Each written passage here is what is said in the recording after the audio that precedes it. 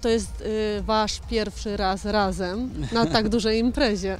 Długo musiałeś Kamilę namawiać? Oj, bardzo długo. Y, Czasami, no mówię, były takie bankie, bankiety, bale jak teraz, e, gdzie przychodzą wszyscy w parach, y, pobawić się, spędzić ten czas razem. I ja często właśnie tak spędzałem e, te jakże no, dostojne chwile.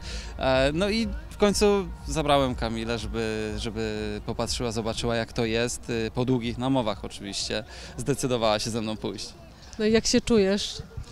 Powiem Ci, że jestem w szoku. Ogółem ten blask fleszy, oślepiający dosłownie z każdej strony, było dość stresujące. Jeszcze do tej pory mi się trochę trzęsą kolana, ale no na szczęście tam jak, jakiś tam, nie wiem, Przeżywała bardziej zanim weszła na tak, ścianę. dokładnie.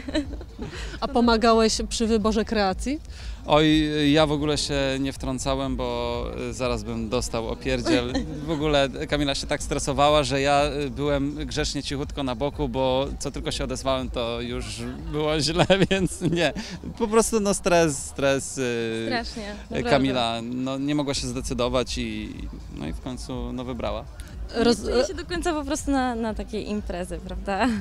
Oj, przyz... tak- Przyzwyczaisz się, przyzwyczaisz się. Chciałam zapytać, ile razy się przebierałaś, zanim wybrałaś tę piękną czerwoną sukienkę?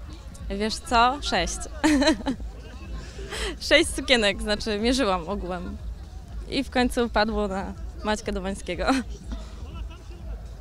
Chyba wygląda rewelacyjnie. Nie, no jest, dla mnie jest gwiazdą wieczoru w ogóle, każdego wieczoru jest dla mnie gwiazdą, więc no tutaj jeszcze dzisiaj ja Cię kręcę, ja sam w ogóle aż dostałem tremy jak z Kamilą tutaj e, pozowałem, bo no prezentuje się no po prostu wspaniale, wspaniale.